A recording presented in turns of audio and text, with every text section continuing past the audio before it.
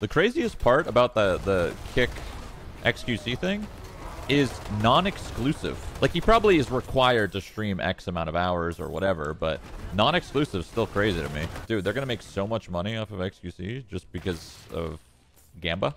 It's really good for the industry, kind of. It depends on how you look at it, right? It's good in the sense of like cool streamers getting more money. It's good in that sense, but it's bad in the sense of making the industry look worse depending on your views on gambling.